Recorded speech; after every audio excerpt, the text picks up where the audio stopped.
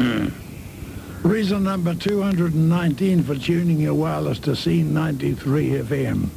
Tom Dwyer. I've known a little Tommy Dwyer for years. We were in Nam together. Sydenham.